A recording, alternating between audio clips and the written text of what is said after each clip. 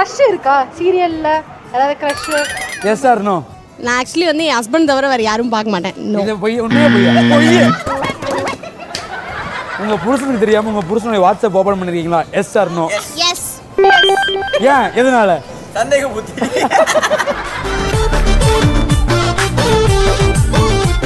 Twinkle twinkle little star எப்படி நீங்க ஆங்கிலத்தில் பேசலாம்? மாட்டுவீங்க தெரியும்ல?